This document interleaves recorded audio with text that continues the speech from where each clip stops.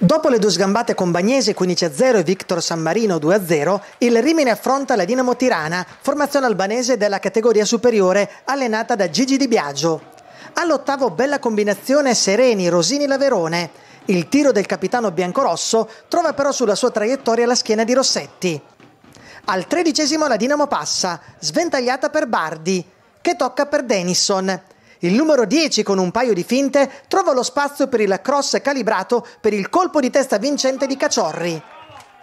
I pericoli per la difesa albanese arrivano tutti dall'auto di destra, quello di sinistra del Rimini. Al diciannovesimo la Verona allarga per Leoncini, che scappa via e serve Sereni. Assist per la battuta di Rosini. Sali para con una mano, poi completa il recupero. Al ventottesimo break di Pietrangeli. Tonelli tocca per Rossetti. Apertura elegante per Accursi che si libera il tiro. Il suo sinistro è neutralizzato dal portiere della Dinamo. Al quarantesimo Bardi serve Marcu, che, contrastato da Rosini, non riesce a calciare con potenza. Al 42esimo lancio di Laverone per Rossetti, che entra in area. Cerca lo spazio per il cross, poi calcia sull'esterno della rete.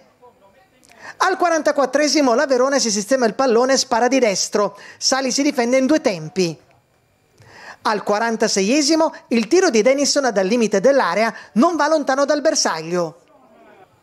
Al 48esimo Sereni duetta con Leoncini e tenta la conclusione a giro, Sali c'è. Si va al riposo sull'1-0 per la squadra albanese. Si riparte ed è ancora Sereni ad avere una buona opportunità dopo una rubata di Lamesta.